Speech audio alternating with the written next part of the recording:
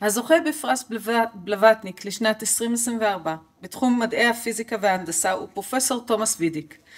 פרופסור וידיק נבחר לקבל את הפרס על מחקר חלוצי שבחן שימוש בעקרונות קוונטיים לבניית מחשבים עוצמתיים יותר. עבודתו של פרופסור וידיק היא אבן דרך חשובה במסע שלנו להבנת כוחו ומגבלותיו של המחשוב הקוונטי, ותקדם את הבטחת התקשורת הדיגיטלית. ההרצאה תהיה באנגלית, אנו נצפה בסרטון קצר על תומאס, ואחר כך הוא יישא את הרצאתו בנושא Certifying Quantum Randomness.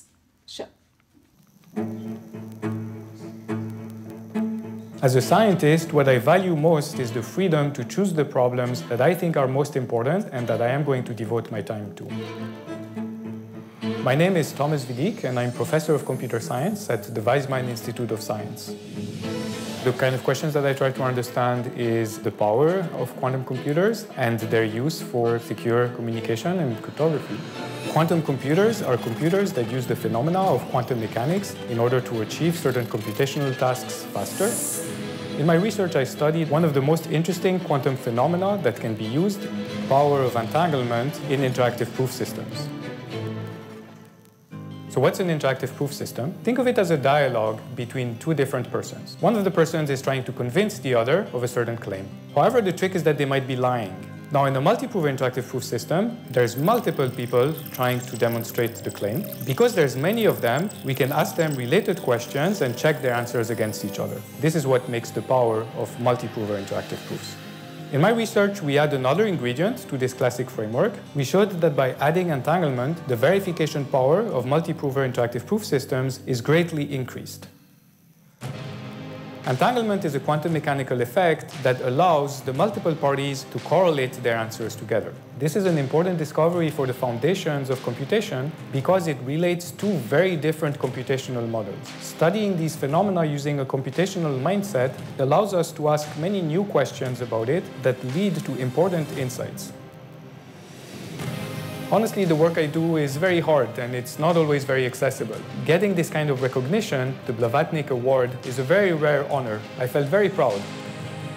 The advice I would give to younger scientists is don't give up and make sure to keep the smile on. There will always be new questions. Solving each challenge contributes a tiny bit in our understanding of the world and opens up a whole new world of questions to study.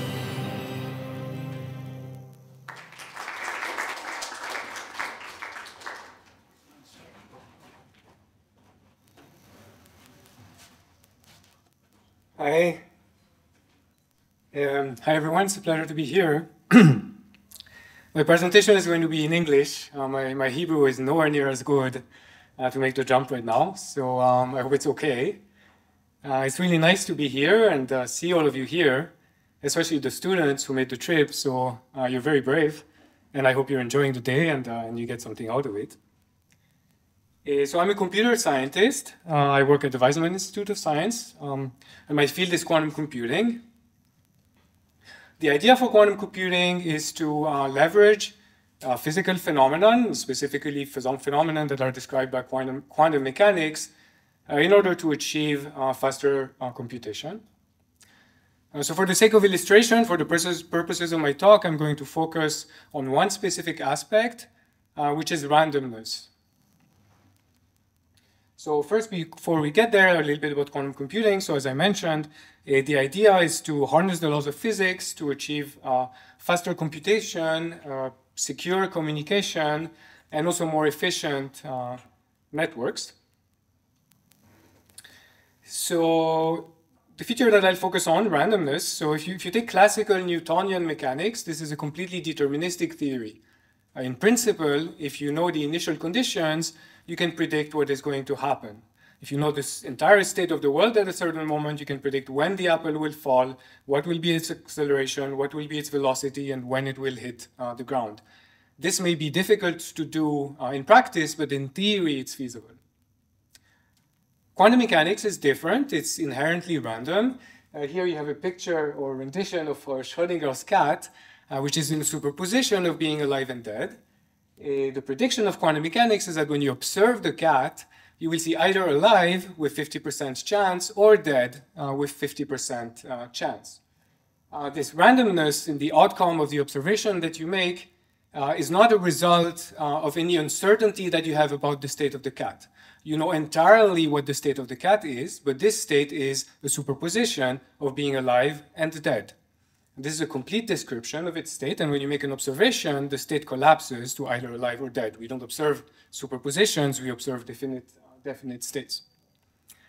Uh, this uh, uh, intrinsic randomness in quantum mechanics uh, famously bothered uh, Einstein, who didn't like it at all. Um, he thought that this, this randomness must be a result of a incompleteness of the rules of quantum mechanics, that there must be some variable that we don't know about yet, but that if we knew it, we would be able to say, is the cat going to be alive or is the cat going to be dead? Um, so Einstein came up with all kinds of thought experiments uh, using which he aimed to demonstrate that uh, the randomness could be removed. It led to absurdities.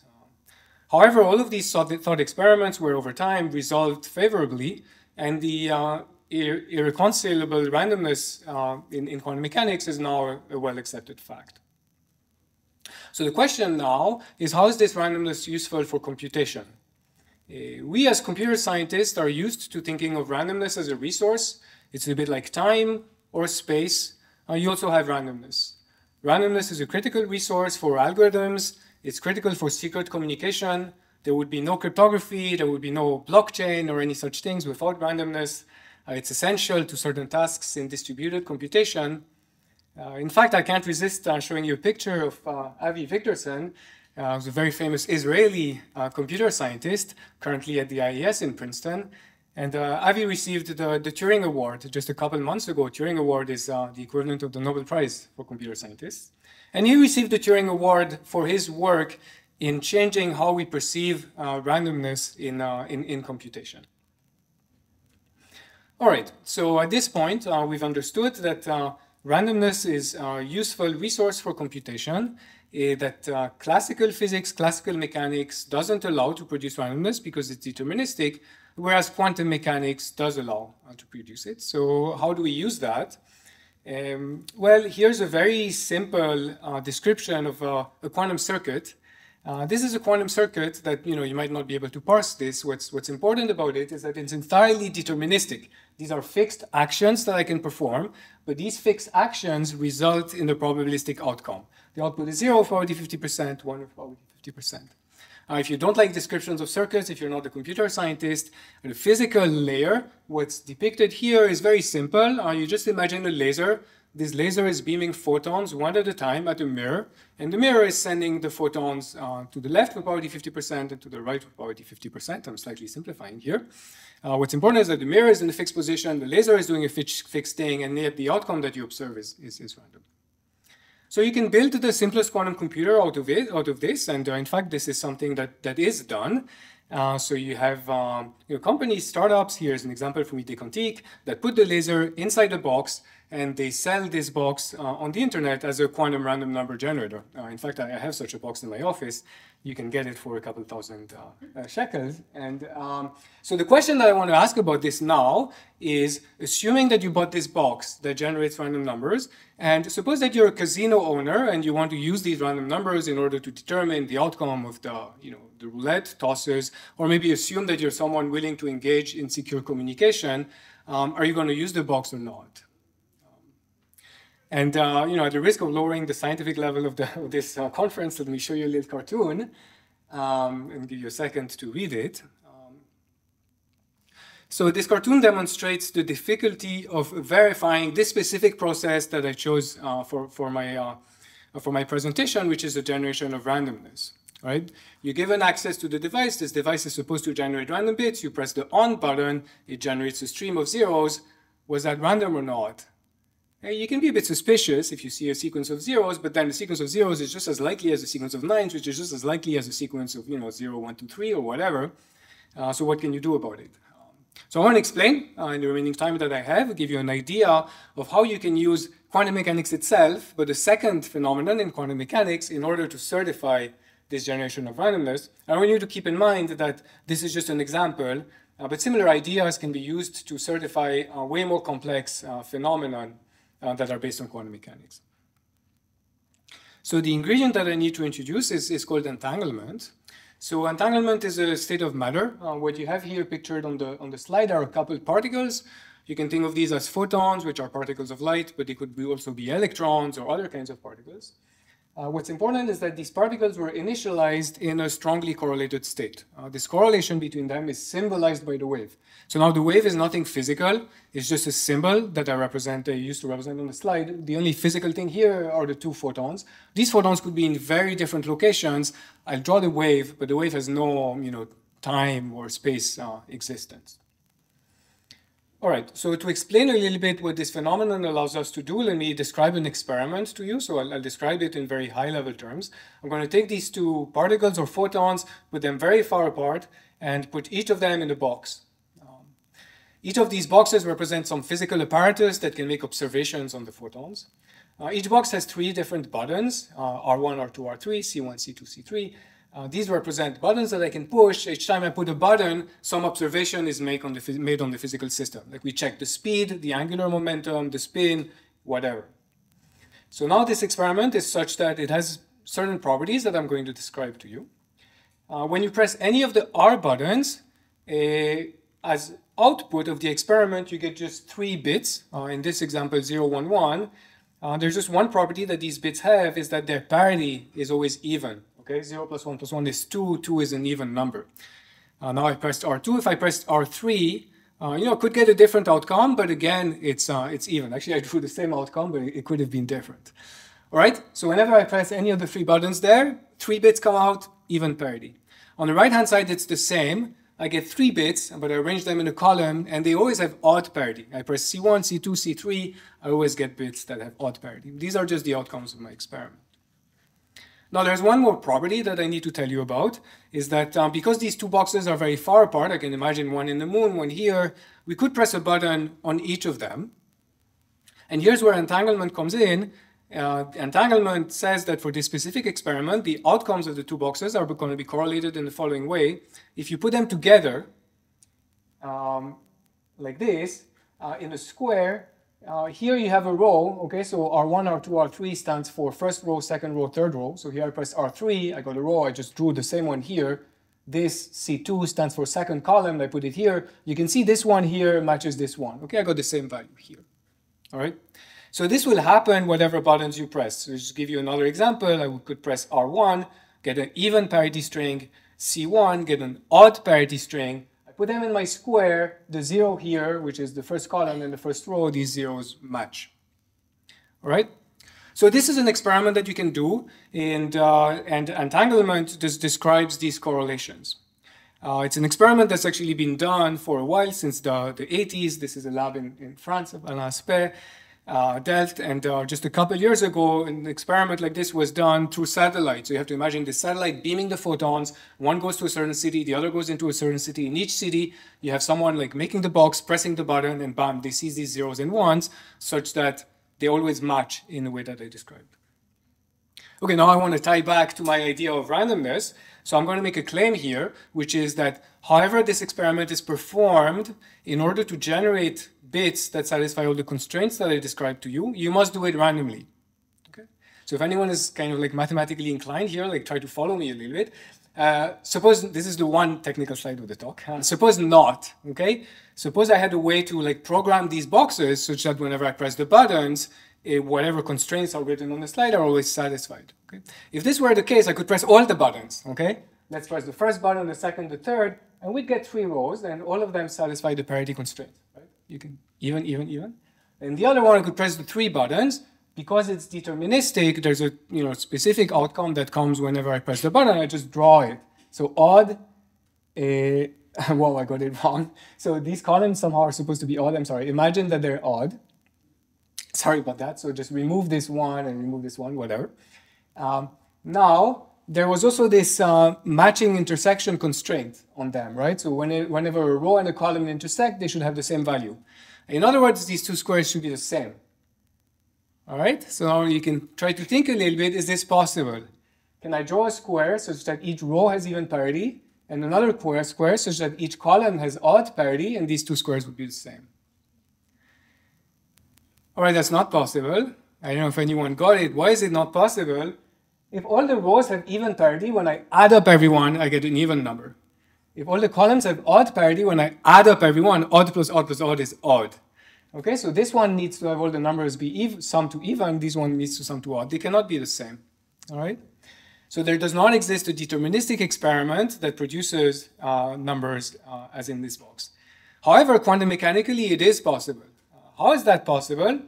Uh, the only way in which it would be possible is that every time I press two buttons, one on the left box and one on the right, the outcomes that I get are generated randomly. They're generated uh, on the fly. I got here even, I got here odd, these things match if you put them in the third row and the third column. Uh, however, there is no way to press all the button and get consistent things. The reason is that these are outcomes of a measurement that's performed with my particles. These measurement generates outcomes that have randomness in them. And once the measurement has been performed, the wave function has collapsed um, and there's nothing left uh, to measure. So I can reset my particles and do the experiment a second time, but it won't be consistent uh, with the first time. So this feature of entanglement gives us a solution uh, to certifying the randomness present in quantum mechanics. Uh, here's a simple uh, experiment you could make. You just set up the boxes and you repeatedly perform uh, this, uh, this operation of uh, check, choosing a row, choosing a column, and you do it over and over again. And if the constraints of parity and matching intersections are always satisfied, then you know by the proof that I gave you that these outcomes have been generated randomly. So I give you a very simple idea uh, how to use entanglement in order to certify randomness. Now this is an idea that can be bootstrapped into much more uh, complex uh, verification tasks and some things that my collaborators and I are working on is in using uh, similar ideas based on entanglement in order to develop protocols uh, that can be used to test and certify and verify uh, big quantum computation and communication networks, uh, such as the future quantum cloud uh, that people have started uh, to think about. Uh, all right, so let me uh, end here. Uh, I'm uh, very grateful uh, to the Blavatnik Foundation for, for this award and to the New York Academy of Science and the Israel Academy of Science of Humanities for, for giving me this opportunity to, to talk in front of you. so thanks.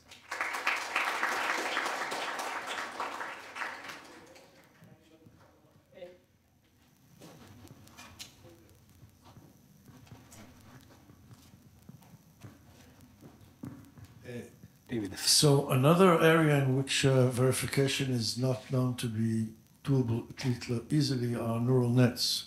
Uh, uh-huh. Neural nets.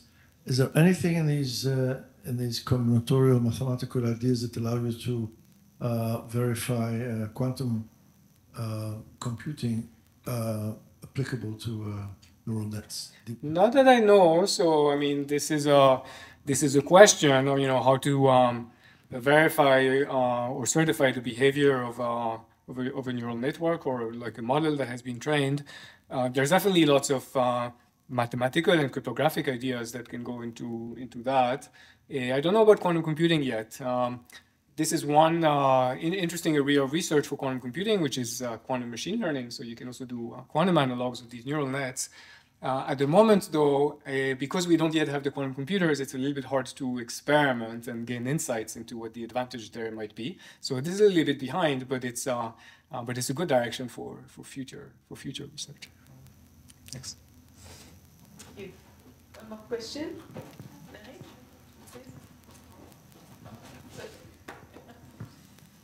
Um, thank you for your talk, Thomas. So I've been listening to um, people from different disciplines talk about quantum computing. I heard the head of research at IBM talk about developing their quantum computers, mm-hmm. and he thinks they're going to be ready for prime time within five or 10 years. Mm-hmm. Um, and then a few months ago, I listened to a, um, a, theoretical physicist talk about quantum, and he said not in our lifetime. Um, from your perspective and your, your study, when do you think it's feasible that we'll have a quantum computer that surpasses our current um, the computing power of, of current computers? Yeah, I mean it's you know notoriously hard to make these kinds of predictions. In fact, you know it's there's ever since I joined the field, it's always been you know in five or ten years, and I've been around for some time. Um, uh, but uh, but actually, I think this is wrong, and um, I think that it'll happen quicker than, than we think. It definitely, from, from my point of view, and it's been, what, like maybe 15 years that I do this, or 20 years, things have changed in a very, very, very noticeable uh, way. It used to be that as computer scientists, we made jokes about, uh, you know, one qubit or two qubit computers factoring 15 or something, we're like, oh, okay, they factored 15, yeah, okay, but they had to bake in the solution, because the computer wouldn't have figured it out by yourself. And this has completely changed. Uh, now we're not making these jokes anymore. Um, there is a big challenge of um, you know, making the machine stable uh, and making it resistant to errors. People have many creative ideas there, but it's, it's still extremely challenging to, uh, to scale things up. Yeah, I, I, think IBM is optimistic, but, but, you know, of course, it's their business, so you can you can blame them for it. I'm surprised by the physicist's answer. I, I would definitely not say not in my lifetime. I definitely count on, on seeing these machines. Uh, uh, yeah, so I don't know if he was talking about his or her lifetime. Let's not. Uh, let's hope that they also see it. Um, it's hard to say, but I think that we're seeing very interesting things now. And in fact, I, I personally know a number of physicists who do believe that they have made significant discoveries in their work by experimenting with quantum systems. So these are not things that you can say, well, okay, I mean, it's a like, complete foolproof demonstration of an advantage because it's a little bit specialized, and you can always say, well, but what if something? But they believe that they are making discoveries, and I think this is going to get out of the lab, um, you know, soon. Like, yeah. Say, if you had to guess, would you say 20 years? Um, I mean, no, I don't mind making ambitious guesses, like as long as you're not, you know, um, no, I would say less. So, um, yeah, um, things are moving very fast, and uh, sometimes they move faster than uh, than people expect. I mean, this also happened in machine learning, and uh, and uh, I think it could happen in quantum computing. Once a lot of effort is put uh, is put into it, uh, you can definitely have phase transitions. And so, I wouldn't be surprised if it was far less than 20 years. Let me say it this way you very much, Thomas. Thanks.